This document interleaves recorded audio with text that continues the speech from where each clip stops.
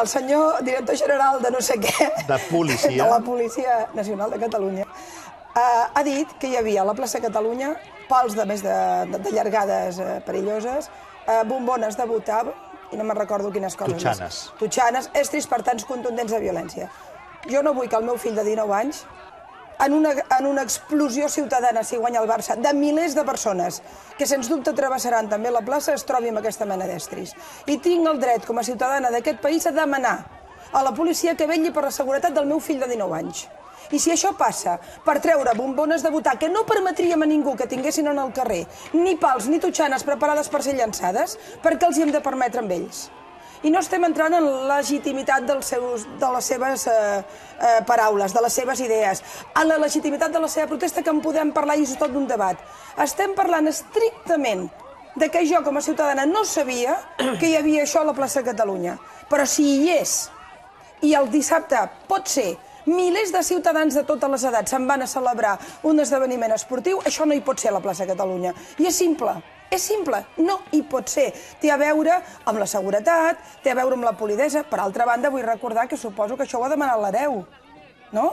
Perquè si és, ho demanen els alcaldes i ho executen els Mossos, és una decisió dels dos partits centrals de Catalunya. L'alcalde de Barcelona, que es preocupa per la seguretat... I el de Lleida. I, ha vist, i l'alcalde de Lleida, eh, a la plaça Ricard Benyes en aquest cas, i es preocupen per la seguretat dels seus ciutadans, cosa que és la seva primera obligació democràtica, i la policia exerceix a la petició que els hi han demanat. Què hi ha de dolent en això?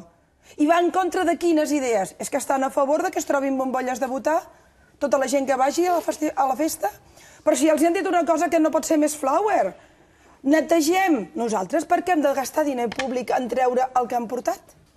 I per què hem de despendre la policia amb els problemes que tenim aquest país per treure les cosetes que a aquests xicots els ha agradat portar a la plaça? És normal que en una sentada pacífica hi hagi tutxanes per tirar, hi hagi pals, hi hagi bombolles de votar que poden explotar? És normal? Em pregunto. I repeteixo, no estic obrint el debat sobre la plaça, estic obrint el debat sobre la seguretat. És normal que s'ocupi la plaça central de Barcelona per un grup de gent i s'ompli del que vulguin i la policia no hi pugui entrar? Escolta, l'alcalde de la ciutat, que legítimament és l'alcalde de la ciutat, mentre no hi hagi el nou consistori, està preocupat per la seguretat. I només ha demanat, aneu, traieu allò que és perillós i que tornin. No podem ser, escolta'm, més flowers. No podem condescendir més, no els hi podem donar més la maneta, és com si els pentinéssim. Va, us pentinem una mica i podeu tornar a ocupar una plaça que és de tots que és de tots, perquè feu el que vulgueu i porteu el que vulgueu. I quan torni a haver un moment que ens sembla que és arriscat, tornarem a enviar la policia. No, quan- Per poder tenir imatges de repressió, per poder dir que dolenta és la policia, que dolenta és la democràcia, que dolent és el sistema polític... Perdona'm, doncs mira, a mi em sembla que avui està passant una cosa de sensatesa.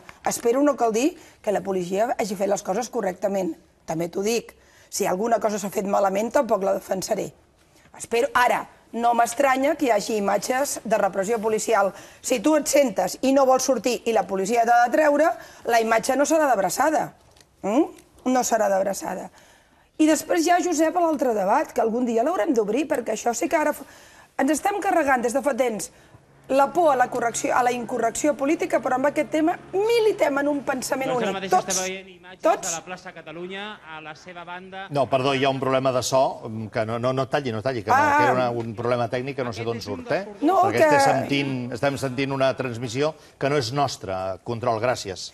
Uh, no, i jo crec, sincerament, i ho vaig pensant de fa dies, que s'ha instal·lat un pensament, útic, un, un pensament únic políticament correcte que va de la dreta a l'esquerra i en tots els espectres polítics de que no es pot qüestionar la sentada.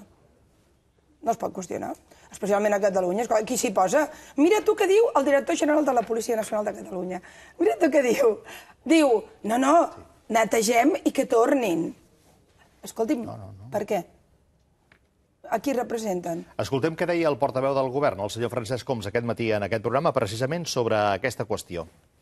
De fet, avui el que es fa no és estrictament un desallotjament, sinó que, vaja, que tot aconsellava mm, que, que hi havia d'entrar la brigada de neteja, això la Generalitat ahir es va parlar amb l'Ajuntament, es va coincidir amb aquesta anàlisi, i això és el que es farà. Es netejarà la plaça eh, i després si les persones doncs, que ho desitgin, volen continuar allà amb la situació que fins ara estaven, doncs podran fer-ho. Per Desa- tant, no és estrictament un desallotjament, sinó simplement una, una neteja, perquè, escolti, al final, aquí tots plegats doncs, hi hem d'anar posant el sentit comú necessari i anar posant un punt d'equilibri. Pilar?